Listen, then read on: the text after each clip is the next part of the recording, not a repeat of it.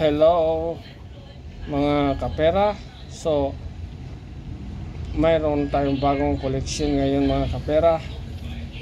Galing pa ito sa aking ah, mga magulang mga kapera. So ito yung pinadala nila mga kapera. Ah, yung 20 pesos na pera natin noon na this is uncirculated money ng Pilipinas. So, yung itong bayani na to mga kapera si Manuel L. Quezon. So, nagawa ito noong 2009. So, old natin naman ito mga kapera.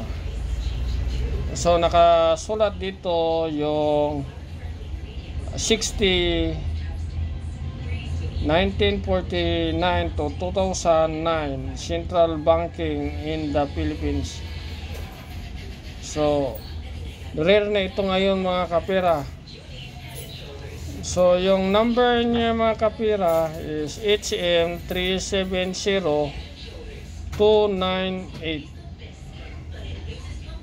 Yan ang numero nito. So, nakapirma dito si ang ating presidente noon na si Glorio Macapagal Arroyo at saka yung may logo sa ating Central Bank. Ang tagapamahala ng Central Bank na si uh, Titangko Junior. So maganda maganda yung logo ng ating ano 3 star at saka nakalagay dito yung wikang pambansa sa Ligang Batas 1937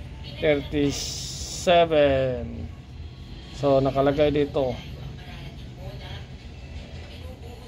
Sa gilid naman yung 20 pesos. So ang kondisyon nito ng mga kapera is 100% condition ng pera ito. So maganda talaga. Wala pa hindi pa ito na ano na dudumihan ma magaling itong koleksyon na to. So yung sa likod nito mga kapera is yung ating palasyo ng Malacanang.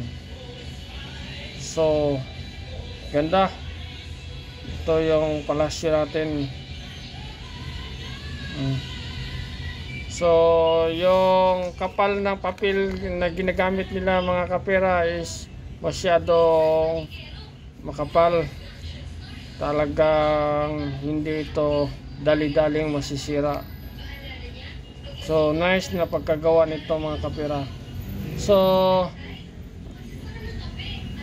kung sino mang naghanap nito ngayon pwede niyo akong i-PM sa aking uh, messenger. So or you leave my message in message section ko para mabasa ko kapag mayroon tayong time. So don't forget to subscribe my channel. Like and share So thank you sa ating mga manonood dyan sa walang sawang suporta. So thank you talaga. Bye bye.